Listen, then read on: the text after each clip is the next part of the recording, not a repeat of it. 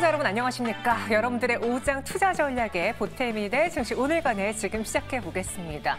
오늘 아침만 해도 분위기가 좋지는 않았어요. 양시장 모두 하락세로 출발을 했고 우리가 체크해 봐야 된다라고 했던 김준호 매니저의 핵심 포인트 있었죠.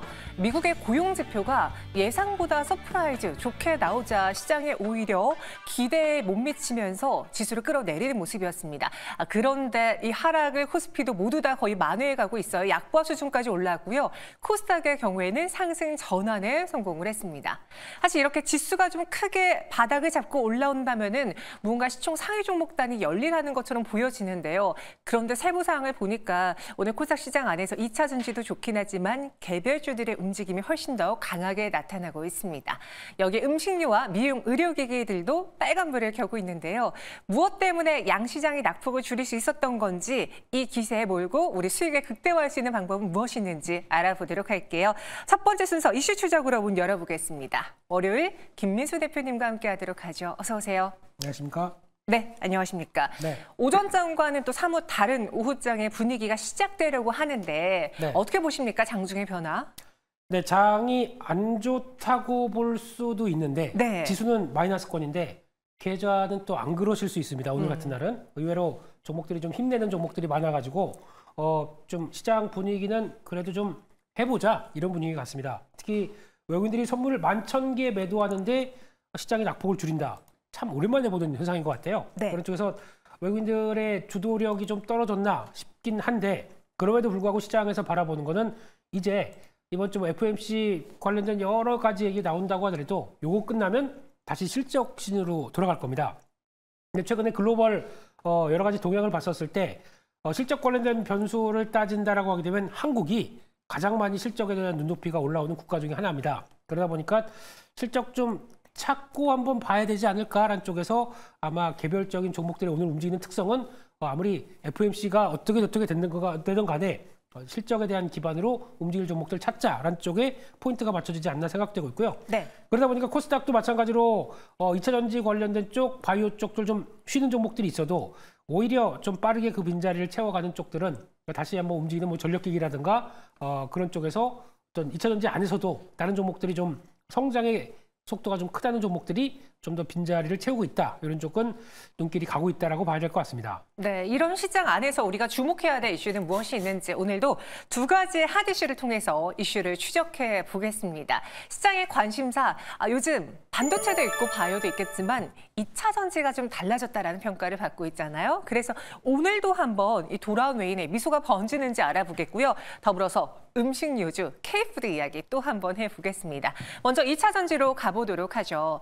아, 최근 시장에서 2차 전지 바닥을 다졌다라는 분석도 나오고 있고요. 더불어서 전기차 판매량 증가세가 살짝 살짝 보이기 시작했다라는 분석도 있었습니다.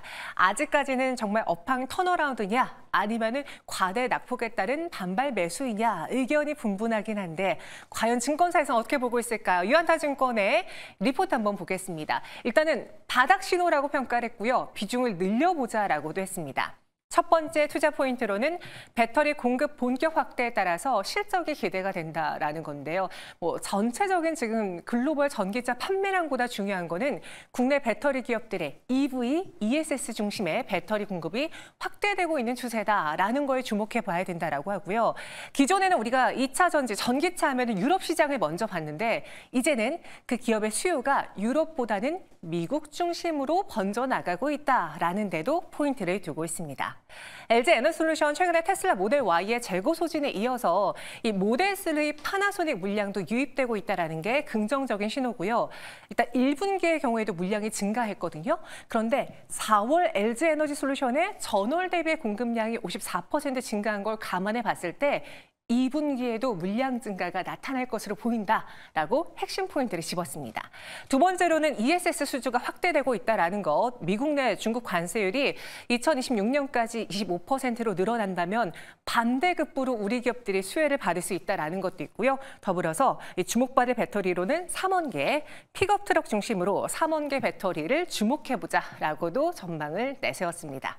사실 오늘 저는 개인적으로 지난 거래일 2차 전지가 강했고 또 오늘 오전 그 미국 고용 지표의 충격으로 인해서 2차 전지가 다소 쉬어가지 않을까 싶었는데 그 안에서도 개별적인 급등주들이 눈에 띄고 있더라고요. 뭐 대표적으로는 에코프로 머티가 대장 역할하고 있는 것 같은데 김민수 대표님 네. 오늘 시장 내에서 2차 전지주 흐름 어떻게 보셨습니까? 네, 일단 어, 하나의 큰 사실은 이게 바닥을 오파근 저점을 통과한다고 하더라도 돌아올 때 보면은 뭔가 확실한 시그널이 나오기 전까지는 네. 어, 종목들이 어, 기존의 좀 시가총액 상위 종목들은 약간 무겁게 움직이겠죠. 근데 그럼에도 불구하고 좀 작은 소섹터라고 하는 그래도 여기서는 성장의 기울기가 좀 다를 거야 라고 하게 되면 변화가 들어오기 시작하면서 같은 2차 전지라고 하더라도 기존에 움직였던 에코프로 그룹이 주도가 아니라 주도력을 좀 다양하게 나오기 시작하면서 산발적으로 움직이는 모습들이 더 체크가 된다라고 하다 보니까 약간 작은 섹터 그리고 종목 중심 이렇게 보는 게 일단은 더 2차 전지 쪽이 맞지 않나 생각이 들고 있습니다. 네,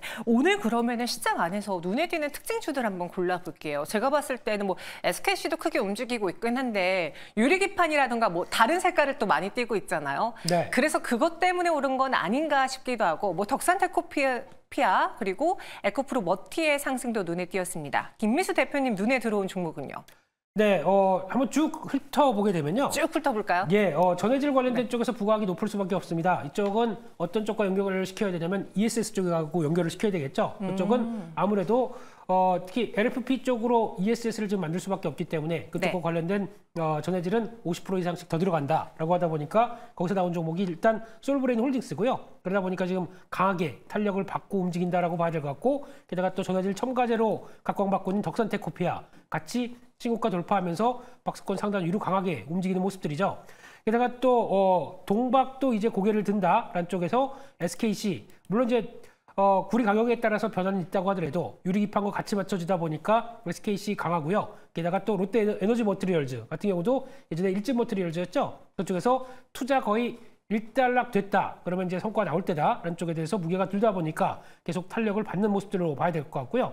그런 쪽에서 지난 어, 5월 달에 수출 동향을 보다 보니까 작은 섹터지만 의미 있는 변화가 나온다라는 쪽에서 TCC 스틸 같은 경우도 니켈 도금 강판 잘 나간다라는 쪽에서 변화가 저점에서 탄력받고 좀 움직이는 쪽이고요. 게다가 또 어, 테이펙스 같은 경우는 먼저 움직였죠. 어, 2차 전지 소재 어, 들어가는 2차 전, 그 테이프, 2차 전지 쪽에 들어간 테이프가 잘 나간다라는 관점 쪽에서 주가 탄력들을 받고 있다라는 쪽으로 보게 되면 어, 또 추가로 하나 더 말씀드리게 되면 어, 다음 주 가게 되면 어, 2024 인터 배터리 유럽이 펼쳐집니다. 네. 거기서 나왔을 때 이제 또 전고체 배터리 관련된 각축장이 벌어지지 않겠느냐라는 쪽에서 오늘 2차 전지 관련된 쪽에서도 전고체 관련된 종목들 특히 이수페타시스가 강한 모습을 보이고 있다. 이렇게 아, 이수 스페셜티 케미칼이 강한 모습을 보이고 있다. 이렇게 봐야 될 것 같습니다.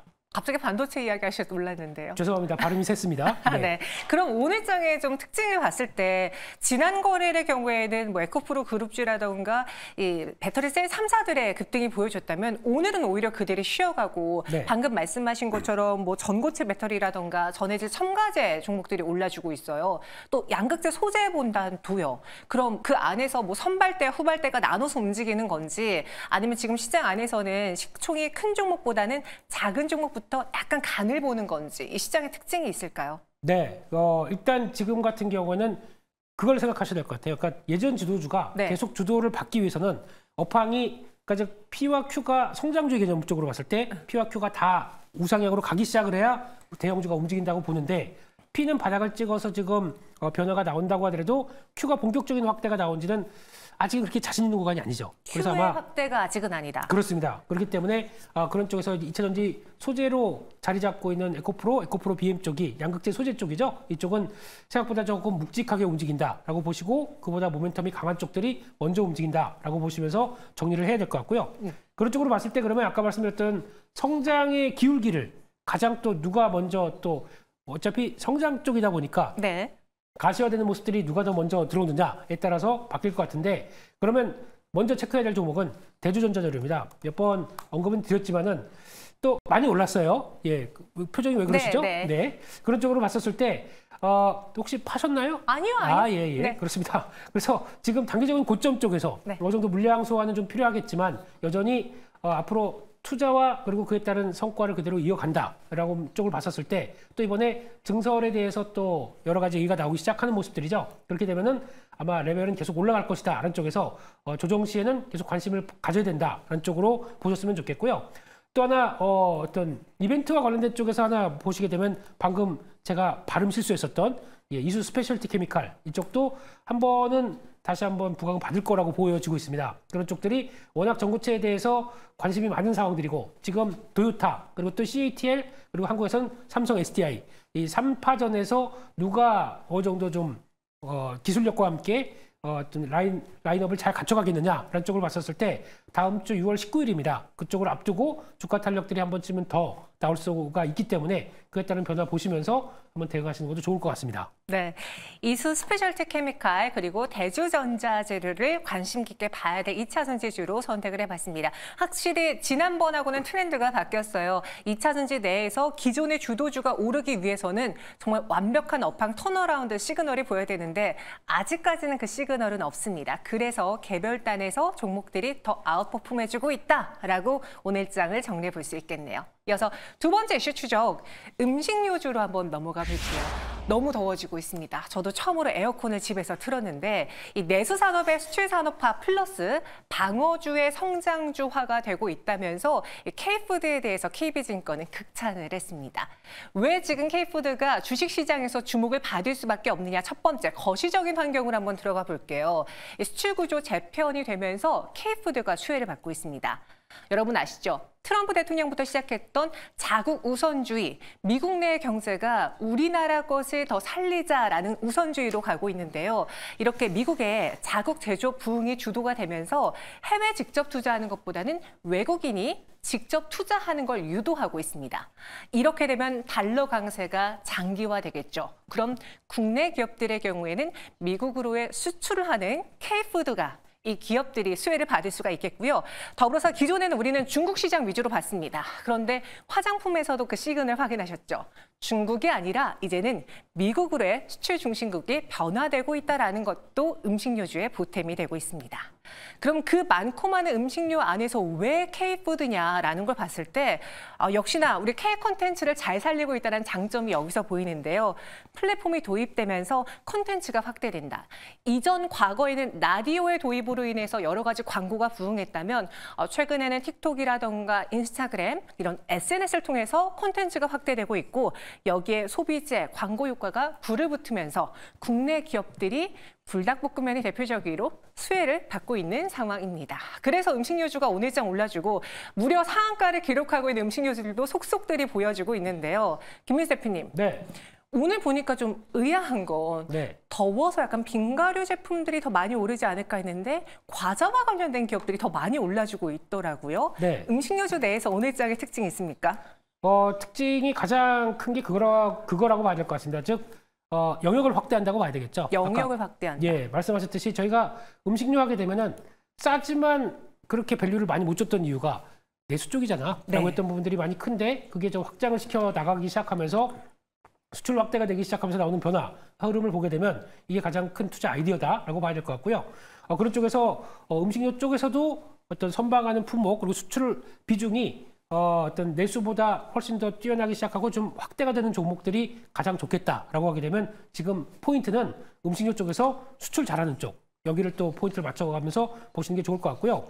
그러다 보니까 깜짝 놀란 게 빙그레가 뭐 거의 상한가 갈 듯이 들어오네요. 네. 근데 이 가장 큰 특징이 아이스크림 쪽에서 어, 그 작년 기준으로 가장 잘 팔린 2, 3, 4위를 다 하고 있습니다. 음. 메로나, 북어싸 많고 올 때 메로나 이거 아시죠? 올메라고 합니다. 올메. 오. 네. 저, 그, 예.